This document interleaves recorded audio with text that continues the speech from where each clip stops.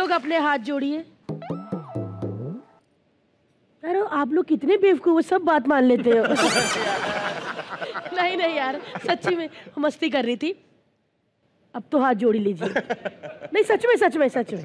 क्योंकि अब हमारे यहाँ एक बाबा आने वाले हैं। बाबा? जो सबका फ्यूचर बताने वाले हैं। तो जोरदार तालियों से स्वागत हम बाद में करेंगे।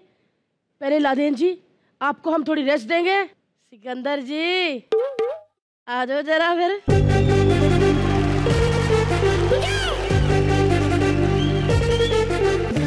तो आप सब तैयार है अपना फ्यूचर जानने के लिए?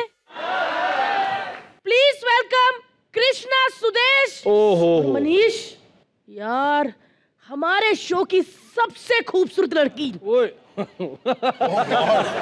अदा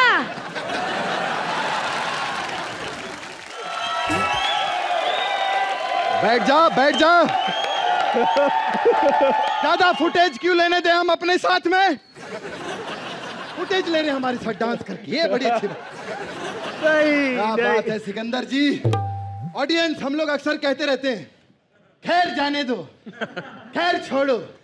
खैर कुछ नहीं यार ये वही खैर है सिकंदर खैर के लिए जोरदार तालियाँ। कौन कहता है कि सिकंदर जंग नहीं हार सकता।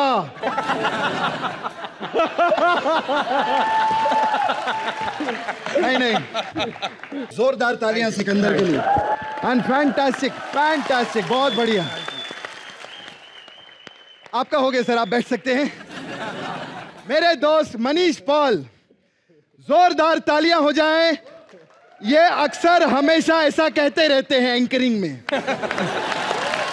आज आपके लिए तालियाँ की बजरी कैसा लग रहा है? मुझे बड़ा मतलब अच्छा इतनी इज़्ज़त हो रही है। हाँ यार आदत नहीं है पर अच्छा लग रहा है। है ना? बड़ा अच्छा लग रहा है। सही बात है मनीष के बारे में एक चीज़ कहूँगा कि ये बात पक्की है कि जब ये एंकरिंग करता है शो की ऑडियंस बिल्कुल नहीं हिलती। ये बात है पक्का। और जब ये फ़िल्में करता है तो ऑडियंस घर से नहीं हिलती। ये क्या प्रॉब्लम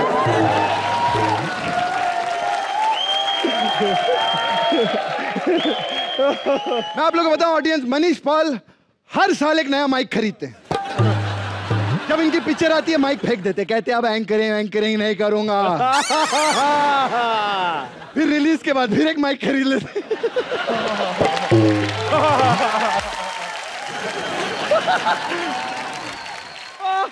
लेकिन पैसा तो टीवी पर ही कमाएगा एंकरिंग कभी नहीं छोड़ेगा। ये वाला है हाय हाय। रिया सेन भी बड़ी तालियाँ बजा रहे हो तुम लोग। ये देखिए। बहुत अच्छा क्या रिया का बहुत बड़ा फ़ैन है ये। आपको खास देखने के लिए आया। रिया की भी एक फ़िल्म आई थी। कौन सी फ़िल्म थी वो? नहीं नहीं। रब्बा मैं क्या करूँ?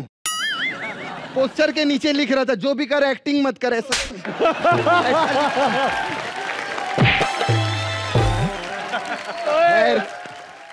मैं अकेला नहीं ऑडियंस आज इतने सारे स्टार्स यहाँ पर मौजूद हैं।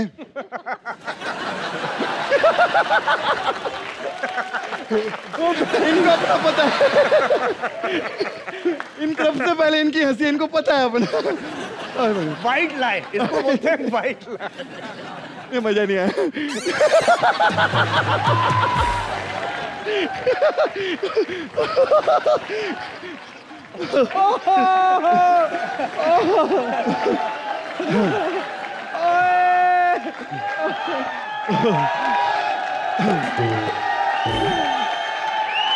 तो यहाँ पर एक बाबा आए हैं। मैंने उनको बुलाया वो खास सबका फ्यूचर बताने के लिए आ रहे हैं। जोरदार तालियाँ हो जाएँ जोगानंद महाराज के लिए। काफ़ी स्लो है बाबा। बाबा थोड़ा फास्ट हो जाइए वरना मैं शुरू हो जाऊँगा। बैठिए बाबा। क्या बात है? पाए लागू बाबा। बहुत बढ़िया। कोई बात नहीं।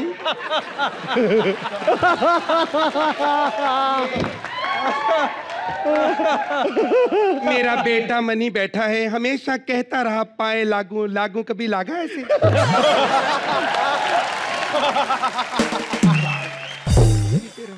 बहुत बढ़िया। बाबा आए हैं। क्या हुआ? गंदा तो नहीं हुआ बेटा? बाबा मनीष पॉल यहाँ पर बैठे उनके लिए क्या कहना चाहेंगे बाबा? मैं तो अपने बेटे के बारे में कहूँगा बेटा मेरे सामने बैठा आज बेटे तू ही स्टार है। जिसने ऐसा पापा पैदा किया है उससे बड़ा स्टार कौन है? पापा पैदा किया मैं तुमसे बेटा बात करना चाहता तू कहता था ना मनीष पॉल की पहली फ़िल्म के बाद अब उसकी कोई फ़िल्म नहीं आएगी। कहा था ना? देख आई कि नहीं? मैं इसको बोला था मैं क्या वो बहुत टैलेंटेड है किसी ना किसी प्रोड्यूसर को फंसा लेगा। फंसाया ना। यार बाबा आप किसी और के बेटे की इतनी बेइज्जती कर रहे हैं। पहले ये बताइए आपका बेटा करता क्या है? मेरा बेटा? उसको बेटा करने की ज़रूरत ही नहीं उसने पापा कमाऊ पैदा किया।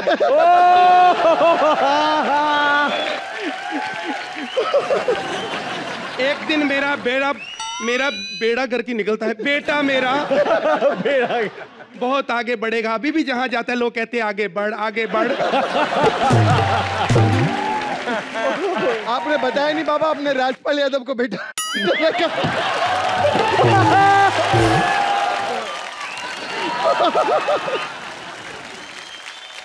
मेरे मन की ख्वाहिशें अंदर ही रह गई मेरा बड़ा मन था तेरी फ़िल्म देख के लोग ऐसे गिरे।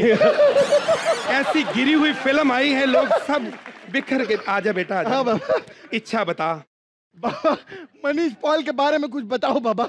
इसके बारे में मैं यही कहूँगा कि इसकी पिछली फ़िल्म की तरह इस फ़िल्म का हाल ना हो? नहीं नहीं। पहले हाल खाली था ना अब भर जाए बस मेरी इच्छा बेटे तू क्यों हंस रहा है? तेरी क्या कूल है? थ्री तूने कौन सा ऑस्कर ले लिया है बेटे? एक मिनट। अरे इसकी फ़िल्म पिछली जो फ़िल्म आई थी रणबंका में एक आदमी नहीं मेरी फ़िल्म में चार लोग तो थे। एक मिनट। उसकी मजबूरी है तेरी फैमिली इधर है वो चलेगी वो दिल्ली से कहाँ बुलाए? पैसे भी तो चाहिए ट्रेन के लिए। बाबा! कोई और बात करते हैं बाबा? रिया के बारे में कुछ बताइए बाबा। अरे कोई और बात करते हैं? मैं सच्ची कहता हूँ आज दीपिका पादुकोण के लिए लोग बहुत कहते हैं बड़ी टैलेंटेड है ये है जो रिया कर सकती वो नहीं कर सकती मैं दा, दावे के साथ कहता हूँ। पूछो क्यों? एक मिनट। ये लड़की कपड़े धो लेती है बर्तन मांज लेती है पोछा लगा लेती है। वो सिर्फ़ फ़िल्में कर सकती है ये घर के काम भी करती है और स्ट्रगल भी करती है। बाबा आपने स्ट्रगल बोला है तो सिकंदर के बारे में भी कुछ बताइए। इसमें कौन है इनमें?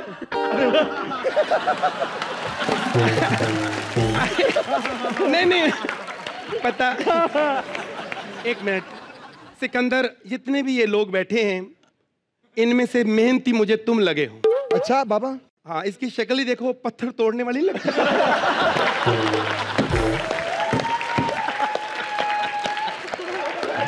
मैं सच्ची बता रहा हूँ सिकंदर जितना मेहनती इंसान है कोई नहीं। ये ये सब गाड़ियों में आए हैं वो ट्रेन के पीछे लटक रहा है लड़का।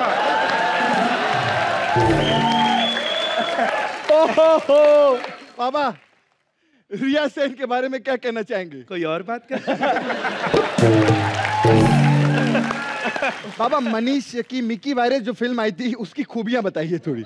उसकी बहुत सारी खूबियाँ हैं। पहली पहली खूबी ये है कि इस बंदे को हीरो लिया क्या लगता है बनता है?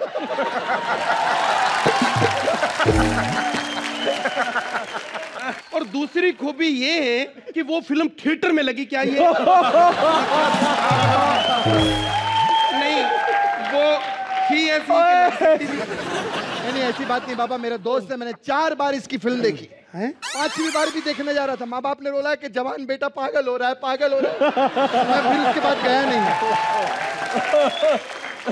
बाबा आ, कुछ खाने पीने का इंतज़ाम करिए। मैं समझ गया अदा को बुलाना है। बाबा ये कौन है? ये ये बहुत बड़ी ऑडियंस है बेटा। एक ये ये मेरी चेली है sexy lady on the floor है आज। एक एक मिनट मैंने सबकी इच्छा पूरी की। हाँ मेरी बासी क्या नाम है दासी? मेरी पार्टी तेरी कोई इच्छा है?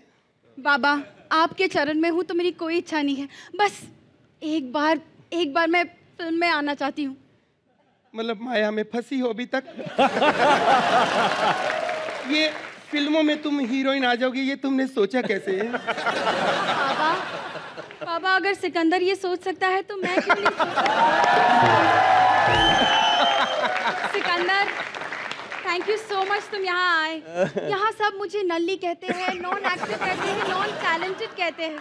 लेकिन आप गुरु सामने कहते हैं।